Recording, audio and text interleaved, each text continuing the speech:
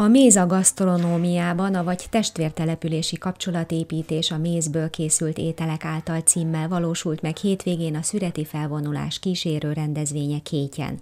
A magyar kormány és a Betlen Gábor alap támogatásával létrehozott esemény keretében a vendégsereg Kéty és testvértelepülése a felvidéki érsek Kéty mézeiből, valamint méz felhasználásával készített házi süteményekből is kóstolhatott. Ez a mai rendezvényünk, ez a érsek Kéty és a magyarországi Kéty települések barátságának az elmélyítése a méz segítségével című, így nagyjából összefoglalva, projektunknak a, a része, ami arról szólt, hogy a vendégeinket, az érsekétyeket is egy mézzel készült ebéddel fogadtuk.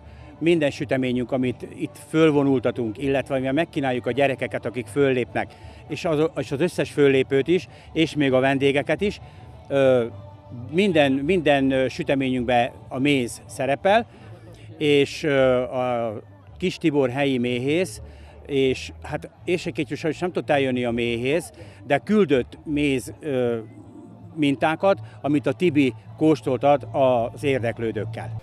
Kégyet Kis Tibor méhész képviselte, aki nem csak mézet, de méheket is hozott magával. Őket egy mély családtól szakítottam el erre, erre a néhány órára, ami 4-5 óra.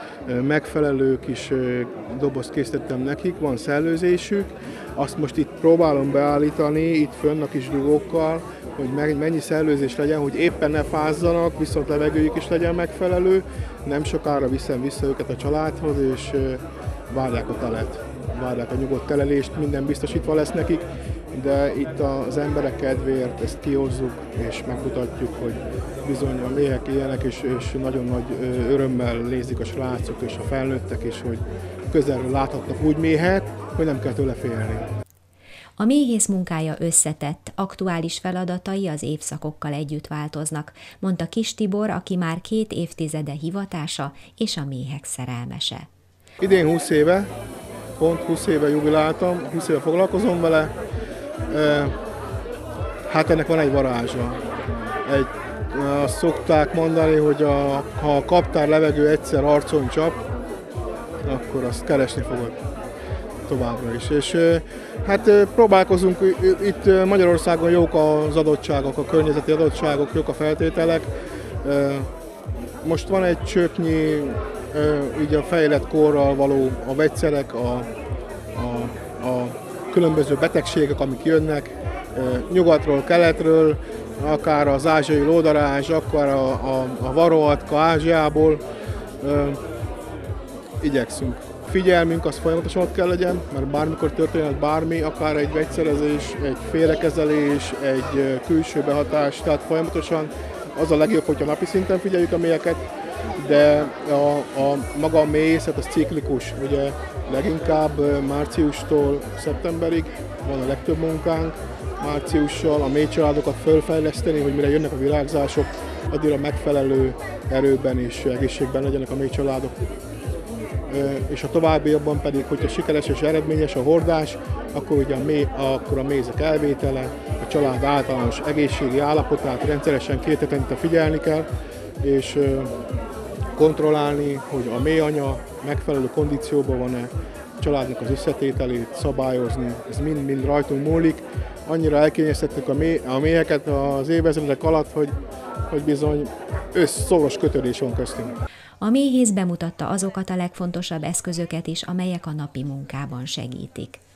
Füstölő az alapvető, alapvető eszközünk, ugye ezzel nyugtatjuk meg a méheket, hogy ne szurkodjanak minket agyon, a füstöl, kicsit megnyugszanak, felszívják magukat mézzel, így nem tudja a potrohát, a fenekét behajtani szúrásnál, mivel megtelíti magát mézzel, és tehát ezzel a füsttel vonjuk el a figyelmüket. A kefével söpörjük le őket a lépről, hogyha a lépet el akarjuk vinni, akár pergetni, vagy vizsgálni, vagy éppen útban van az egyik mélyecske, nem akarom megnyomni a kerettel, kicsit megsöpöröm vele, elhajtom, és akkor van a kaptárszolgának hívjuk, azért hagytam így direkt ilyen hasz, habitosan, koszosan, illetve hát ezt nap mint nap használjuk, és ezzel a kereteket tudjuk mozgatni, feszíteni, hogyha a propalisszal leragasszák, akkor ő, ez, ez mindig itt van nálunk a kezünkbe, vagy, vagy a zsebünkbe. A kaptár szolga az a méz legjobb barátja. Ezzel nyitjuk fel a, a, a lezárt mélysejteket, amiben a kész méz van.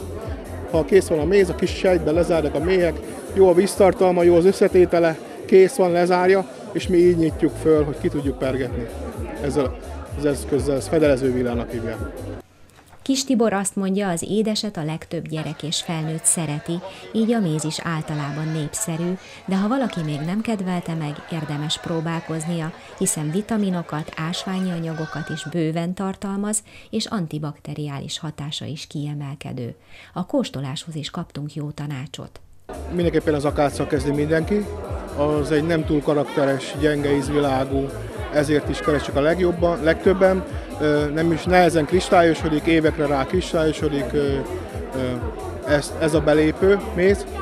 Aztán az ingyencek mennek a vegyes méz felé, akik a vitaminokat gyűjtik, azok inkább vegyes mézet, sportolók viszik a repcét, mert gyorsan ad energiát, a repcét viszik még a, a, a, a refluxosok, akiknek sok a savuk, nagyon jól leköti a repce, lugosít ingyencek, hársot, esetleg gesztenyemézeket, hogyha olyan régióba jár, akik csemege mézet fogyasztanak kicsiben, ők, ők ezt szeretik.